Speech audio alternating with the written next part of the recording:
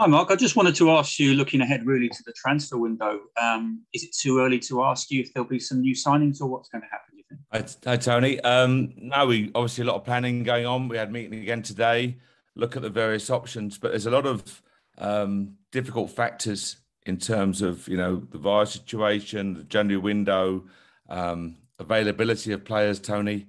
January is always the hardest, as you know so well, and you're always reaching for players sometimes. So it's a really difficult window.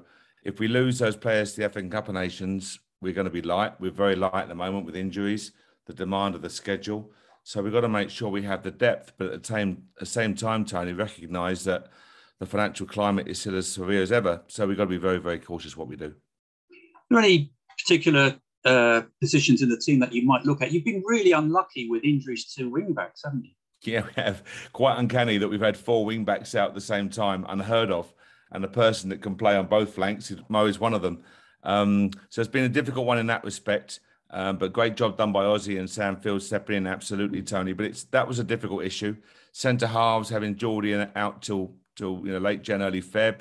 Again, has placed a lot of pressure on the centre half. So it's a difficult one.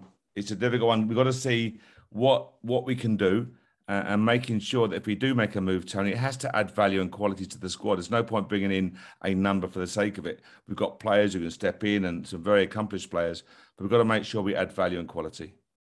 Now, what about the, the financial situation? You've alluded to it there. Will there be funds available? What's the latest as well on, on financial fair play? Will that come into effect for Again, yeah, Lee and the board are doing that, Tony, and what's available. The figures change all the time, of course. It's just making sure that we know what we can do in January but it's uh, I'm repeating myself. I apologise. It's such a difficult window in terms of, you know, teams fighting relegation are trying to reach and get players to to save status. Teams that are pushing are trying to reach and add quality. Teams that don't want to sell are having their players poached and, and etc. And all these various aspects come into play. So it's an, a very very difficult window and challenging window for everyone. But I think from from a QPR perspective, I'd like to add one or two definitely to give us that strength in depth and to add that little bit of quality that we maybe not have right now. But as I say, we'll never just add number for number's sake, Tony. Never. And you're building a great squad up. Um, I'm sure you really want to hang on to your best players as well. I mean, there must be possible interest in Chair and Willock and, and so on, but you, you, want to keep those players, don't you? Surely. Yeah, we do. We do, and uh, you know, I'm, I'm going to tell you the truth is that they're they're happy, they're settled, they're playing well, they're developing all the time, which is important to them and to QPR. Um, and if any player goes, I don't think we lose play. If any player goes, Tony, it's on QPR's terms. Every player in the world's got a price. But as I say, if anyone wanted to come and take one of QPR's players in our current position, it would be on terms that are acceptable to the QPR board. And they would obviously be way above uh, some of the, some of the figures I see bandied around are almost nonsensical. So it, it would be a, a term, it would be a value that the club thinks is appropriate for any individual player.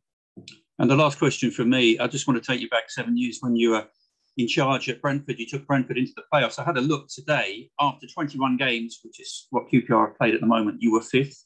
QPR are fifth at the moment. So can you use that experience from seven years ago to, to keep everything going at Rangers into the new year? Yeah, I hope so, Tony. I think we all, in all walks of life, you learn, don't you, from your experiences. You, you hope you do anyway and you hope you're better for it. Um, that was a, a, really good year, really pleasing year. The players d- deserved enormous credit, as you and I spoke about before, for the manner in which they performed and overachieved.